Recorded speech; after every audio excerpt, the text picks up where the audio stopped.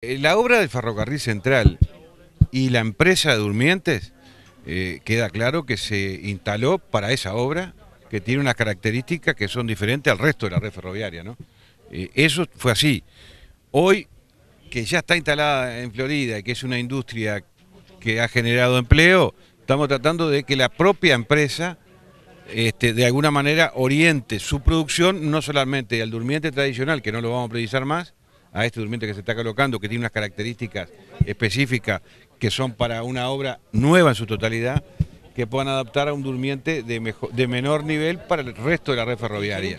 Este tipo de vías con el ensanche de base del ferrocarril central no, no, no se va a dar en el resto del país. Es como las rutas, hay rutas que son doble vía eh, nacionales con una característica y otras que son rutas secundarias y terciarias. El resto de la red ferroviaria es una, red ferroviaria que hay que mejorarle y levantarle el nivel de estándar y que va a requerir un tipo de durmiente diferente, que ya se lo transmitimos. Y tengo entendido que vienen trabajando para poder producir ese tipo de durmiente. Si eso se logra, que fue lo que hablamos con los funcionarios, nos da por lo menos la tranquilidad de que se puede producir en Uruguay un durmiente para el resto de la red ferroviaria. Pero después viene la otra etapa. Digo, es que tampoco está previsto seguimos con la red ferroviaria y por dónde. Yo quiero seguir hasta Salto, lo que le decía, y el presidente también. Ahora hay que buscar financiamiento.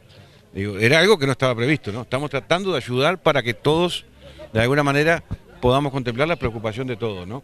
Eh, pero creo que quede claro, lo que vamos a lograr no estaba comprometido nunca, ¿verdad? La obra era para esto y la empresa se instaló para esta obra. Hoy estamos buscando a ver si la podemos salvar y, que oriente la producción a otro tipo de, de, producto diferente para ver si puede seguir en Uruguay, que ellos quieren quedarse en Uruguay y nosotros por supuesto queremos que se queden también.